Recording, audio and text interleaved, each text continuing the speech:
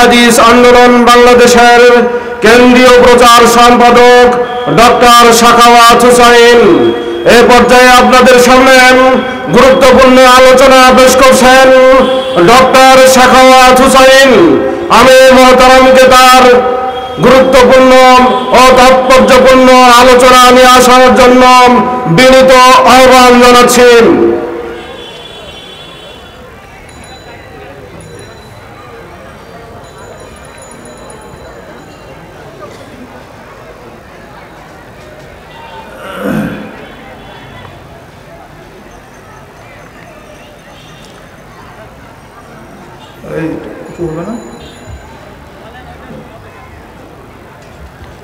আসসালামু আলাইকুম রহমতুল্লাহ বারাকাতুহু অনেক হয়ে যাওয়ার কারণে বার হয়ে গেছে إن الحمد لله وحده والصلاة والسلام على من لا نبي بعده أما بعد فأعوذ بالله من الشيطان الرجيم وممن خلقنا أمة يهدون بالحق وبه يعدلون عن ثوبان رضي الله عنه قال قال رسول الله صلى الله عليه وسلم لا تزال طائفة من أمتي ظاهرين على الحق لا يضرهم من خذلهم حتى يأتي أمر الله وهم كذلك رواه مسلم আহলাদিস আন্দোলন বাংলাদেশ খুলনা জেলা কর্তৃক আয়োজিত আজকের এই ইসলামী সম্মেলনের সম্মানিত সভাপতি মাননীয় প্রধান অতিথি আহলাদিস আন্দোলন বাংলাদেশের মোহতারাম আমির জামাত।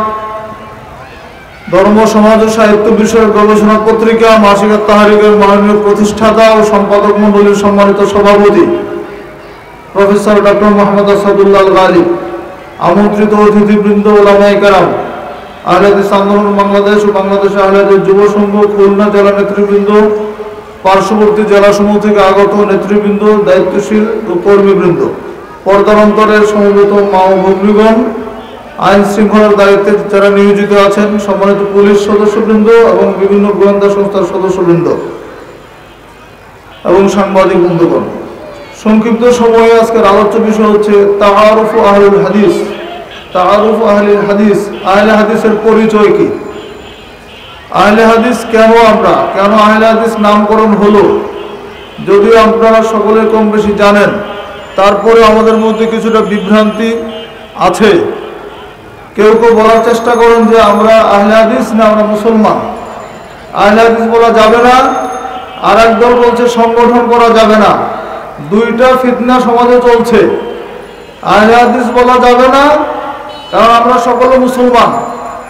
ইন্দানি মিনাল মুসলিমিন, হুয়া সাম্মাকুমুল মুসলিমিন। তোমাদের নামকরণ করা হয়েছে মুসলমান হিসাবে, তো আহলে হাদিস কেন? এই বিষয়টা একটু ক্লিয়ার হওয়া দরকার আছে, নাকি নাই? আছে না? সংক্ষেপে বলব কথা। আহলুল হাদিস, এর মিনিংটা কি? দুইটা শব্দ আছে এখানে। আহাল একটা শব্দ, হাদিস একটা শব্দ। আহলুল হাদিস আহাল অর্থ অনুসারী। আর হাদিস শব্দের অর্থ হচ্ছে বাণী বা কথা। এই বাণীটা কার বাণী? আল্লাহর বাণী এবং তার রসুল সাল্লা সাল্লামের বাণী। একটু আগে আলোচনা শুনলেন কি বিষয়ে মানে হাদিস অস্বীকারীদের সম্পর্কে। হাদিস যে আল্লাহর ওহি, হাদিসকে যে মানতে হবে এ- বিষয়ে আলোচনা শ্রবণ করলেন। তো হাদিস বলতে কোরআন এবং হাদিস দুটিকে বোঝায়। আহাল শব্দের অর্থ হচ্ছে অনুসারী, হাদিস শব্দের অর্থ হচ্ছে বাণী। যেমন কোরআন মজিদে আহলুল ইনজিল বলা হয়েছে, ইনজিলের অনুসারীদেরকে। ওয়ালিয়াকুম আহলুল ইনজিল বিমা আনসাল্লাহু ফীহি ইয়াহকুম বিমা ফাসিকুন। আল্লাহ সূরা মায়েদার 37 নম্বর আয়াতে বলছেন, ওয়ালিয়াহকুম আহলুল ইনজিল। ইনজিলের অনুসারীদের উচিত ইনজিলের মধ্যে যা নাজিল হয়েছে, এর অনুযায়ী বিচার ফয়সালা করা। অমাল্লাম ইয়াহকুম বিমা আনসালাল্লাহ আর যে ব্যক্তি আল্লাহর নাজিলকৃত বিধান অনুযায়ী বিচার ফয়সালা করে না, সে হচ্ছে ফাসেক। এটা আবার জঙ্গিদের একটা দলিল। একই সুরার পরপর তিনটা আয়াত আসছে। অমাল্লামা কুমু আনসার আল্লাহ ফাউলাইকুমুল কাফিরুন আসছে এখানে। ফাউলাইকুমুল জালিমুন আসছে। তো যারা আল্লাহর বিধান অনুযায়ী বিচার ফয়সালা করে না, তারা হচ্ছে কাফের। আবার আল্লাহ বলেছেন, তারা জালেম, তারা ফাসেক। কিন্তু আমাদের চরমপন্থী ভাইয়েরা এই তিনটার মধ্য থেকে একটা ধরেছে কাফের। কাফের মানে আর ইসলাম থেকে খারিজ হয়ে গেছে। কাজে এদেরকে হত্যা করতে হবে, এদের রক্ত হালাল। এ ধরনের বিভ্রান্তিকর আকিদা এগুলো হচ্ছে খারিজি আকিদা, চরমপন্থী আকিদা, যে যা থেকে জঙ্গিবাদের সৃষ্টি হয়েছে, ইসলাম কখনো জঙ্গিবাদকে সমর্থন করে না। হাদিস বলতে কোরআন হাদিস দুটিকে বোঝায়। দলিল, আল্লাহ কোরআন মাজিদের চোদ্দটি আয়াতের মধ্যে কোরআনকে হাদিস বলেছেন। এবং হাদিসের মধ্যে রাসূল আলাইহি কোরআনকে হাদিস বলে সম্বোধন করেছেন।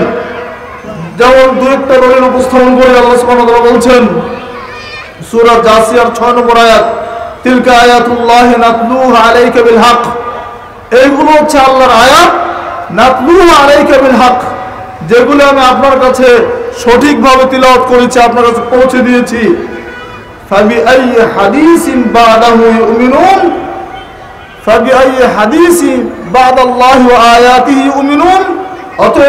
হাদিসের পরে, এই আয়াতের পরে আর কোন হাদিসে আপনি বিশ্বাস করবেন? আয়াতিহি এই আয়াত এবং হাদিস মানে কোরআনের পরে। আর কোন কথায় আপনি বিশ্বাস করবেন, তারা বিশ্বাস করবে? তাহলে এখানে আল্লাহ কোরআনকে, হাদিস বলতে কোরআনকে বুঝিয়েছেন। যে কোরআন তোমাদের কাছে নাজিল করা হয়েছে, কোরআনের পরে আর কোন হাদিসে তোমরা বিশ্বাস করবে? এর দ্বারা আল্লাহ সুবহানাহু কোরআনকে বুঝিয়েছেন।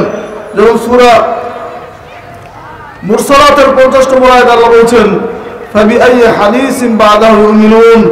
এই হাদিসের পরে আর কোন হাদিসে তারা বিশ্বাস করবে? অর্থাৎ কোরআনের পরে আর কোন কোরআনকে তারা বিশ্বাস করবে? ঠিক একইভাবে সুরত তুর খুলেন। বাউন্ন নম্বর সুরত চৌত্রিশ নম্বর আয়াত। আল্লাহ বলছেন, ফালিয়াতু বিহাদিসিম মিসলিহি, ইন কানু সাদিকিন। যদি তারা সত্যবাদী হয়, তাহলে এই রকম একটি হাদিস বানিয়ে দেখাক, নিয়ে আসুক। ফালিয়াতু বিহাদিসিম মিসলিহি এই রকম একটা হাদিস তারা নিয়ে আসুক, যদি তারা সত্যবাদী হয়। তাহলে হাদিস বলতে কোনটা বোঝানো হয়েছে? বলেন, কোরআন বোঝানো হয় নাই? কোরআন বোঝানো হয়েছে। আল্লাহ সুবহানাহু সূরা জুমারের 23 নম্বর আয়াতে বললেন, আল্লাহু নাযালা আহসানাল হাদিস। আল্লাহ নাজিল করেছেন উত্তম হাদিস। তা হাদিস বলতে কি বোঝানো হয়েছে এখানে? বলেন, কোরআন বোঝানো হয়েছে। আল্লাহ তো নাজিল করেছেন কোরআন। আল্লাহ বললেন কি, আল্লাহু নাযালা আহসানাল হাদিস। আল্লাহ কিন্তু বলেন নাই, আল্লাহু নাযালা আহসানাল কোরআন। আল্লাহ উত্তম একটা কোরআন নাজিল করেছেন, এটা বোঝেন নাই। এটা আয়াতের মধ্যে বলেন নাই। যদিও কোরআনই নাজিল করেছেন, কিন্তু শব্দগতভাবে আল্লাহ সুবহানাহু কোরআনকে হাদিস দিয়ে সম্বোধন করেছেন, উপস্থাপন করেছেন। আল্লাহ বললেন, তিনি উত্তম একটা হাদিস নাজিল করেছেন, তার মানেই হচ্ছে তিনি কোরআন নাজিল করেছেন। কাজে আল্লাহ তাআলা নিজেই কোরআনকে কখনো কখনো হাদিস বলে সম্বোধন করেছেন। আরও অনেকগুলো আয়াত আছে, বলার সময় নাই। দুই একটু উপস্থাপন করলাম। একটা হাদিস শুনেন। আমাদের ইমাম সাহেবরা, খতিব সাহেবরা প্রতিদিন জুমার, প্রত্যেক জুমায় খুতবায় এই হাদিসটা পড়েন তাই বলেন না? কোন, কোনটা সেটা? আম্মা বাদু ফাইন্না খায়রাল হাদিসি কিতাবুল্লাহ। এটা একটা হাদিসের অংশ বিশেষ এর আগে আরও লম্বা হাদিস আছে। রাসূল ওয়াসাল্লাম ভাষণ কীভাবে দিতেন? তার চেহারা কীরকম রাগ হতো, চোখ লাল হয়ে যেত, এই জাতীয় বিবরণ। শেষে কি আল্লাহ রাসূল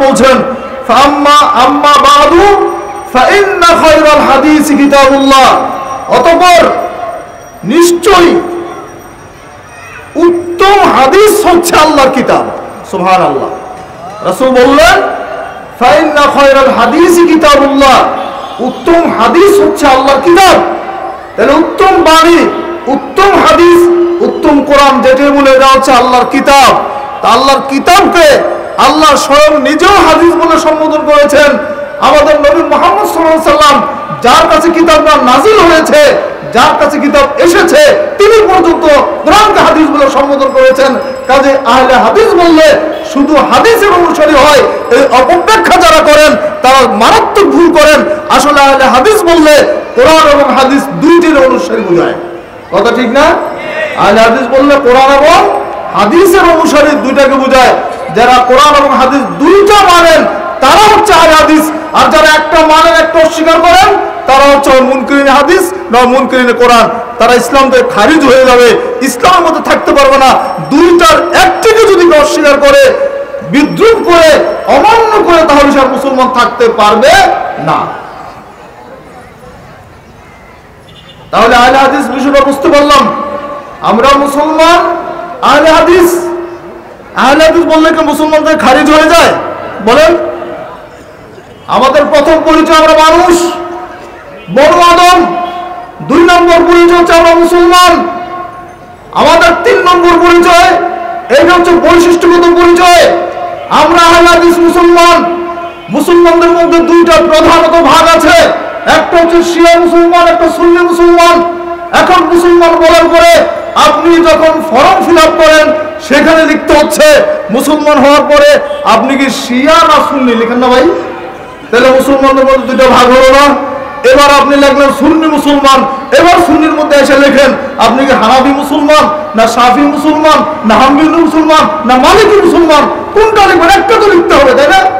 আপনি মুসলমান বলার পরে আপনাকে একবার সুন্নি লিখতে হচ্ছে আর একবার হানাফি লিখতে হচ্ছে, এবার হানাফি মাসাবে এসে দুইশো অধিক দল আছে তাদের মধ্যে, এবার আপনি কোন তরিকার লোক, এবার আপনাকে সেটাও বলতে হচ্ছে। শুধু মুসলমান বলে পার পাওয়া যাবে? আমি অনেক জায়গায় বলেছি, আমরা শুধু মুসলমান থাকব তখন। যদি আপনার নামের সাথে অন্য নামগুলি সব বাদ দেন চার মাসের কোনো নাম থাকবে না, কোনো তরিকার নাম থাকবে না, কোনো ভাগ থাকবে না, সবাই আমরা মুসলমান হব, কোরআন এবং সহি হাদিস মেনে চলবো। আপনি যখন মুসলমান বলতে গিয়ে বলার পর আপনার নামের সাথে আর একটা নাম দিচ্ছেন, আমিও, আমি আমার মুসলমান, আমার মুসলমানের সাথে আমার পরিচয় হচ্ছে, এটা আমার এটা আমার বৈশিষ্ট্যগত আইডেন্টিটি এটা আমার বৈশিষ্ট্যগত পরিচয় যে আমি মুসলমান কিন্তু না হলে হাদিস মুসলমান আমি ওই মুসলমান যেই মুসলমান কোরআন এবং সহি হাদিস নিঃশর্তভাবে মেনে নেয় আমি হচ্ছে সেই মুসলমান الذين يتبعون الكتاب والسنة الذين يتبعون الكتاب والسنة في جميع نواحي الحياة من غير اشتراك আহলে হাদিস কাকে বলে যিনি কোরআন এবং সহি হাদিসের নিঃশর্ত অনুসারী যদি প্রশ্ন করে আপনাকে যে আহলে হাদিসকে কি বলবেন? যিনি কোরআন এবং সহি হাদিসের নিঃশর্ত অনুসারী, বোঝার চেষ্টা করবেন। ফি জামি নওয়াহিল হায়াত, তার সার্বিক জীবনে শুধুমাত্র মসজিদে গেলে আহলে হাদিস হলে চলবে না। চাকরি করছেন সেখানে আহলে হাদিস হন। ঘুষ খেতে পারবেন না, সুদ খেতে পারবেন না, দুর্নীতি করতে পারবেন না। ব্যবসা করছেন আপনি আহলে হাদিস হন। ব্যবসার মধ্যে কোনো ভেজাল ঢুকাতে পারবেন না একটা নম্বর দুই নম্বর মেশাতে পারবেন না ওইগুলো কম দিতে পারবেন না মানুষকে ঠকাতে পারবেন না প্রতারণা করতে পারবেন না আল্লাহ নবী বাজার পাশ- বাজার দিয়ে যাচ্ছেন এক ব্যবসায়ীর মালের স্তূপ থেকে তিনি হাত ঢুকিয়ে দিলেন মালের ভিতরে, এবার ভিতরে হাত ঢুকানোর পরে হাত বের করে দেখছেন যে নিচের অংশ ভিজা। ব্যবসায়ীকে জিজ্ঞেস করলেন, কি ব্যাপার? তোমার মালটা তো উপরে খুব চকচক করে সাজানো আছে, সুন্দর। দেখতে পছন্দ হওয়ার মতো বিষয়, কিন্তু নিচের দিকে ভিজা গেল তখন ওই লোক বলছে, হে আল্লাহ রসুল সাল্লাহ সাল্লাম, এটা বৃষ্টিতে ভিজে গেছে। এই জন্য এটা নিচে রেখেছি। তো রাসুল বললেন, তুমি ভিজাটা উপরে রাখলে না কেন? যেটা ভিজে গেল সেটা উপরে রাখলে না কেন? এইটুকু বলার পরে তিনি যে সংক্ষিপ্ত কথা বললেন, কেয়ামত পর্যন্ত আগত সকল ব্যবসায়ীদের জন্য এটা মনে রাখা দরকার। রাসুল বললেন, শুনো যারা আমার সাথে প্রতারণা করবে, আমাদের সাথে যারা প্রতারণা করবে, ওই ব্যক্তি আমার উন্মত থাকতে পারবে না ওই ব্যক্তি আমার উন্মত থেকে খারিজ হয়ে যাবে উম্মত মোহাম্মদ বলে তার কোনো পরিচয় থাকবে না যে প্রতারণা করবে কাজে কোনো ব্যবসায়ী যদি ব্যবসা করতে গিয়ে প্রতারণা করে করে ক্রেতাদের সাথে যদি প্রতারণা করে, ওই ব্যবসায়ী কোনোদিন নবীর উম্মত থাকতে পারবে না। আজকাল বাজারে মরা মুখ মুরগি, মুরগিও বিক্রি হয় হয় না? পত্রিকার রিপোর্ট বের হয়, রাতের অন্ধকারে মরা মুরগি, হাজার হাজার মুরগি মরে যায়। যারা ব্রয়লার ব্যবসা করেন, জানেন, মরা মুরগিগুলি যায় কোথায়? এটার একটা তদন্ত করেছে একটা টিভি চ্যানেল। তদন্ত করতে গিয়ে দেখছে একেবারে থলের বিড়াল বের হয়ে এসেছে। রাতের অন্ধকারে মরা মুরগিগুলি সব পরিষ্কার পরিচ্ছন্ন করে গলা কেটে মনে হচ্ছে জবাই করা হয়েছে। এইগুলো বিভিন্ন হোটেলে রাস্তায় দিয়ে দেওয়া হয় কম দামে। আর এই মরা মুরগি এদেশের মুসলমানরা মুসলমানদেরকে খাওয়ায়, প্রতারণা করে। প্রতারণা করে মুসলমানদের খাওয়ায়, হারাম খাওয়াচ্ছে। এই ব্যবসায়ী কি কোনোদিন জান্নাতে যেতে পারবে? এই ব্যবসায়ী কোন আল্লাহ থাকতে পারবে? আরে টাকা পয়সা তো মুচি না বেতন কামাই করে। তুমি মুসলমানের সন্তান, তোমার কলিজা কাঁপে না, তুমি হারাম খাও। রাসুল বলছেন হারাম। শোনো আমার উম্মত ওই দেহ কোনোদিন জান্নাতে যেতে পারবে না, ওই দেহ কোনোদিন জান্নাতে ঢুকবে না। যেই দেহটা হারাম দিয়ে পরিপুষ্ট হয়েছে, হারাম খেয়ে যে দেহটা গঠিত হয়েছে, ওই দেহ জান্নাতে যাবে না। কাজে নিজেকে জিজ্ঞেস করে দেখুন না একবার আপনার বডির মধ্যে হারাম ঢুকেছে কিনা? আপনি যেখানে কর্ম করেন, হারাম ঢুকছে কিনা একটু চিন্তা করে দেখুন। হারাম যদি ঢুকে, ওই হারাম খেয়ে যে বডি তৈরি হবে, ওই বডি নবী বলছে এটা জান্নাতে ঢুকতে পারবে না। যদি এইভাবে তাপা সম্পন্ন হয়ে যায়, তাহলে প্রশাসনের কোনো কষ্ট করতে হবে না। দুর্নীতি বন্ধ করার জন্য এত পদক্ষেপ নিতে হবে না। মাদক বন্ধ করার জন্য এত পদক্ষেপ নিতে হবে না। যেন বিচার বন্ধের জন্য এত পদক্ষেপ লাগবে না। নৈতিক উন্নতি যদি ভারতের মানুষের ঘটে যায়, মানুষের হৃদয় জগৎ যদি আলোকিত হয়, মানুষ যদি আল্লাহকে ভয় করে, আল্লাহর বিধানকে মানার জন্য যদি একনিষ্ঠ হয়ে যায়, জান্নাত যদি তার টার্গেট হয়ে যায়, তাহলে মানুষ সব কিছু খারাপ থেকে বেঁচে থাকতে পারবে। তাহলে এমনিতে নিজের মধ্যে পরিবর্তন চলে আসবে। আপনাকে লাঠি বাটা করলে আপনার পকেটে হারাম ঢুকাতে পারবে না। কি, ঠিক বলে নাই? টাকার চারদিকে টাকা দেখতে পাবেন। কিন্তু আপনি জানেন যে টাকাটা হারাম। যতক্ষণ আপনার ভিতর অন্তর্জগৎ পরিশুদ্ধ থাকবে যে না, আমাকে চাকরি দিয়েছে সরকার, আমার ডিউটি এটা কাজে আমি এই ডিউটির বিনিময়ে আমাকে সরকার পয়সা দেয়। এই ডিউটির বাইরে আমি ডিউটির মধ্যে আমি যত কাজ করি, তার বেতন ভাতা সরকার দিচ্ছে। এটা করে যদি আমি একটি টাকা কোনো ক্লায়েন্টের কাছ থেকে নেই, কোনো জনগণের কাছ থেকে নেই ওই একটি পয়সা আমার হারাম হয়ে যাবে। এইটুকু এলাম যদি মাথায় ঢোকে, তাহলে আমাদের দেশের অফিস আদালতগুলিতে ঘুষ বন্ধ হবে ইনশাআল্লাহ। দুর্ভাগ্য আমরা আমরা ফটো দিয়েছি, জানেন? আমি তো বিনা কাজে তো নেই নেই তার কাজটা করে দিয়েছি তাই আমি টাকাটা নিয়েছি। আরে বাবা, আপনাকে তো রাখাই হয়েছে কাজ করার জন্য। সরকার টাকা দিচ্ছে, বেতন দিচ্ছে, বোনাস দিচ্ছে, রেশন দিচ্ছে, কত কিছু দিচ্ছে আপনার পিছনে? এত ব্যয় আপনার পিছনে গাড়ি দিচ্ছে, বাড়ি দিচ্ছে। এবার আপনি বলছেন যে, না, এটা তো আমি তার কাজটা করে দিয়েছি, এই জন্য আমি নিচ্ছি। এইসব যুক্তি চলবে না।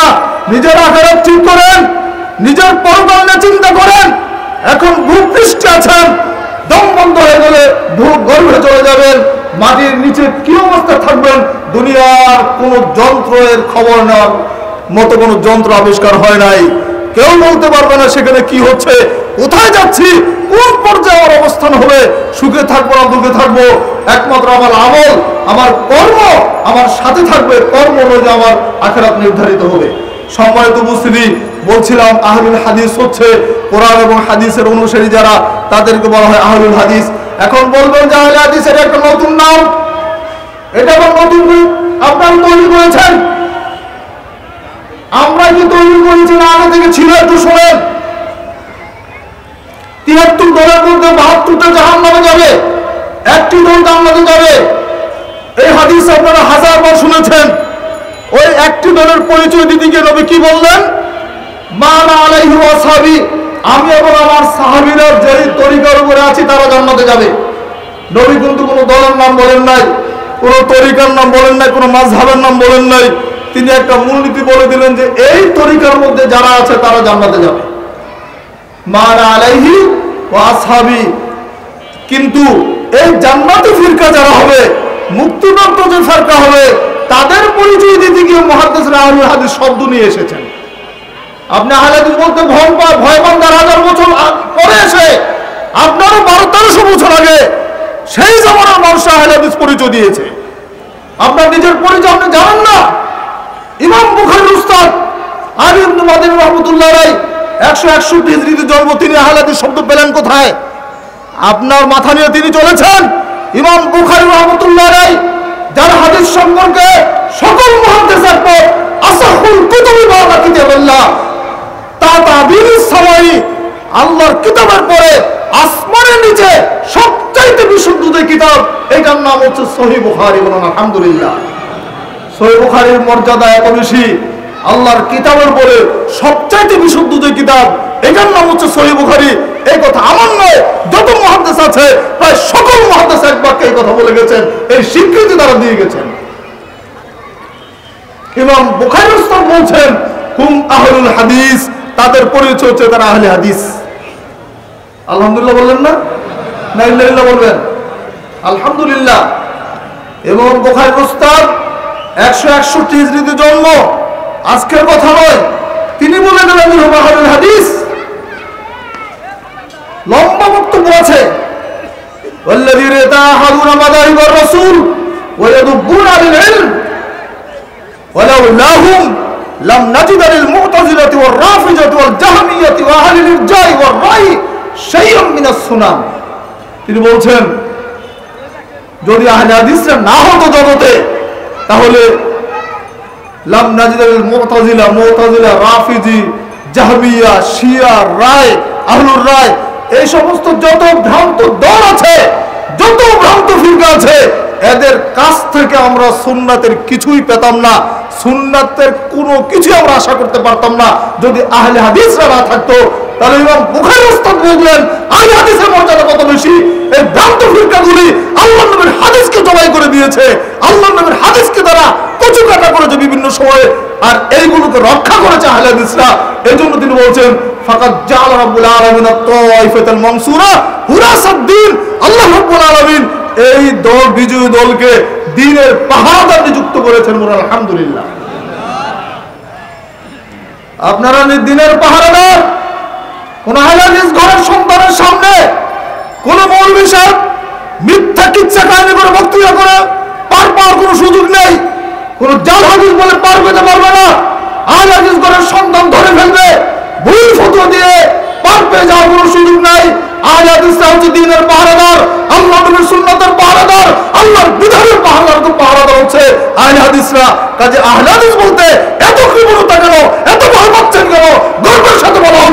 আমি আমি মুসলমান, আমি আহলে হাদিস মুসলমান, আমি কোরআন এবং মানি আমি সেই মুসলমান।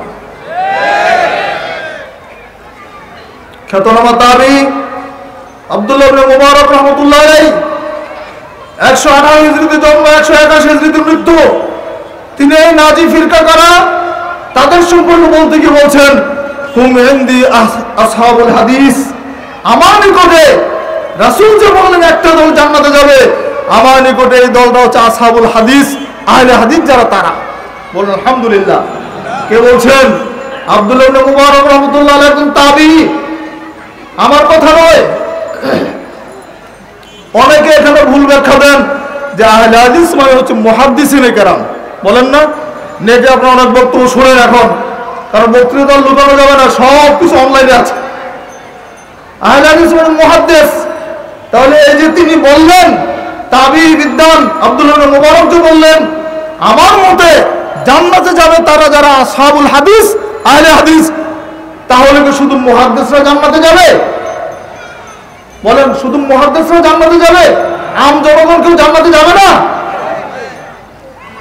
তাইলে তাদের ব্যাখ্যাটা হচ্ছে ভুল। আসহাবুল হাদিস, আহলুল হাদিস একই অর্থে ব্যবহৃত হয়। মুহাদ্দিস, আহলে হাদিস, হাদিসের যিনি তিনি আহলে হাদিস। হাদিস মেনে চলেন যিনি তিনি আহলে হাদিস। কাজে আহলে হাদিস বলতে শুধু মুহাদ্দিসদেরকে বোঝানো হয় না, হাদিসের অনুসারী, আপামর জনসাধারণ সারা পৃথিবীর যে প্রান্ত থেকে থাকুক না কেন, যিনি হাদিস মেনে চলবেন, তাকে আহলুল হাদিস বলা যাবে। আশি বাইশ হিজড়িতে জন্ম, ইমাম সাহাবি রহমতুল্লাহ আলাই দুইশো একশো চার হিজড়িতে মৃত্যু। তিনি বলছেন, লাউ তুমি আমরি মাস্তাকবারতু মা হাদ্দাস্তু ইল্লা আজমা আলাইহি আহলুল হাদিস। এখন যা কিছু ঘটছে, আমি তা যদি আগে জানতাম তাহলে আমি কোনো হাদিস জমা করতাম না। আহলে হাদিসদের নিকট ব্যতীত। আহলে হাদিসদের নিকট থেকে যে হাদিস পাবো, সেটাই শুধু লিখতাম। ফিতনার জামানা শুরু হওয়ার পরে ইমাম সাহাবি রহমতুল্লাহ এই কথা বললেন, এখন যত ফিতনা দেখা যাচ্ছে, যদি আমি বুঝতে পারতাম, জানতাম, তাহলে আমি আহলে হাদিসদের কাছ থেকে হাদিস সংগ্রহ করতাম। অন্য কারও কাছ থেকে হাদিস সংগ্রহ করতাম না। বলুন তো, আহলুল হাদিস শব্দ এখানে আসলো কিনা? এটা কি আহলে হাদিস আন্দোলনের বানানো কোনো নাম? এবং সাধু রহমতুল্লাহ রাই বাইশ হিজড়িতে জন্মগ্রহণ করেছেন। আজকের কথা নাকি একশো চার হিজড়িতে মৃত্যুবরণ করেছেন। তার জমানেতে আলুর হাদিস শব্দ এসেছে। ইয়াজিদ ইবনে হারুন, ইমাম আহমদ বিন হাম্বলের নাম তো আপনারা জানেন। জন্ম, ইয়াজিদ ইবনে হারুন একশো আঠারো হিজড়িতে জন্ম দুশো সতেরো হিজড়িতে মৃত্যু। আহমদ বিন হাম্বলের জন্ম হচ্ছে চৌষট্টি হিজড়ি মৃত্যু দুশো একচল্লিশ হিজড়ি তারা বলছেন ইনলাম ইয়াকুন আসহাব আল হাদিস, ফালা আদরি মানহুম। কত চমৎকার কথা বলেছেন। নবীজি বললেন, ওই একটি দল জান্নাতে যাবে, তাদের পরিচয় বলতে গিয়ে আহমদ বিন হাম্বল, যিনি দশ লক্ষ হাদিসের হাফেজ, ইমাম বুখারের ওস্তাদ ছিলেন যিনি তিনি বলছেন, এই দলটি যদি আহলে হাদিস না হয় মুক্তির প্রত্যয় দলের পরিচয় দিতে গিয়ে তিনি বলছেন, যদি তারা আহলে হাদিস না হয়, লা আদ্রি মানহুম, আমি আমার আহমদ বিন হাম্বল বলছি, আমি দশ লাখ হাদিসের হাফেজ হতে পারি, আমার জানা নেই তারা আর কে হতে পারে, যদি আহলে হাদিস নাজি ফিরকার অন্তর্ভুক্ত না হয়, আমি ইমাম ইমাম আহমদ বিন হাম্বল বলছি, আমার জানা নাই তারা কারা। অর্থাৎ কি তিনি বলতে চাইলেন নাজি ফিরকার অন্তর্ভুক্ত যারা, তারা নিঃসন্দেহে আহলেল হাদিস যারা আসহাবুল হাদিস যারা, তারাই জান্নাতে যাবে ইনশাআল্লাহ। এই কথা ইমাম আহমদ বিন হাম্বল রহমতুল্লাহ আলাইহি বললেন।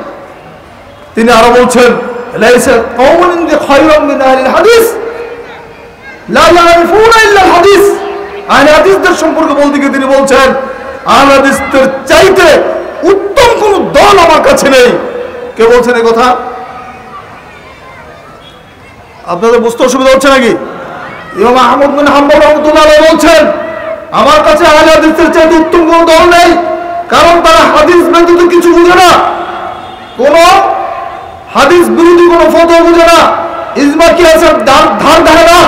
হাদিস হাদিসকেই তারা অগ্রাধিকার দেয়। এই জন্য তিনি এই কথা বলেছেন। ইমাম শাহি রহমতুল্লাহ আলের নাম শুনেছেন। একশো পঞ্চাশ হিজড়িতে জন্ম, দুশো চার হিজড়ির মৃত্যু। পিছন থেকে আমি বলে আসছি, আধুনিক জামানা পর্যন্ত সুযোগ পেলে বলে দিয়ে শেষ করে দিব। দেখেন ইমাম শাহি রহমতুল্লাহ আলাই মিন আসহাবিল হাদিস, ফাকান্নি রাআইতু নবিয়্য সাল্লাল্লাহু আলাইহি সাল্লাম হাইয়ান। যখন আমি কোন হাদিসকে দেখি, তখন আমি যেন স্বয়ং নবী মোহাম্মদ সাল্লাল্লাহু সাল্লামকে জীবন্ত দেখতে পাই বলো কথাটা বুঝতে পারেন না উনি কি বলতে চাইলেন? আবার অপব্যাখ্যা করার চেষ্টা করবেন না, নবীকে কি দেখা যাবে? তিনি বলতে চাইলেন, আমি যখন কোন হাদিসকে দেখি আমি যেন স্বয়ং নবী মোহাম্মদ সাল্লামকে জীবন্ত দেখতে পাই। তার মানে কি?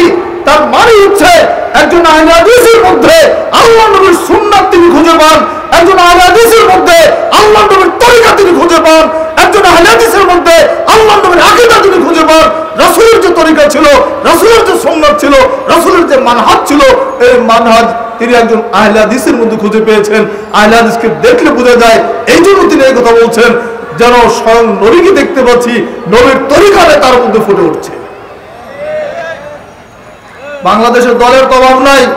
এক এক দলের এক এক রকম তরিকা, এক এক দলের এক এক রকম জিকির। রাসুলের তরিকা কোথায় খুঁজে পাবেন এত ভ্রান্ত আমল আমাদের মধ্যে চলছে। ধর্মের নাম দিয়ে ধর্মের দোহাই দিয়ে চলছে। যেগুলোর কোনো ভিত্তি শরীয়তে নেই। হাদিস খুঁজলে কোথাও পাবেন না। অথচ চলছে। মানুষ আবেগ তাড়িত হয়ে সেখানে যাচ্ছে। মানুষ অনেক পয়সা সেখানে দিচ্ছে।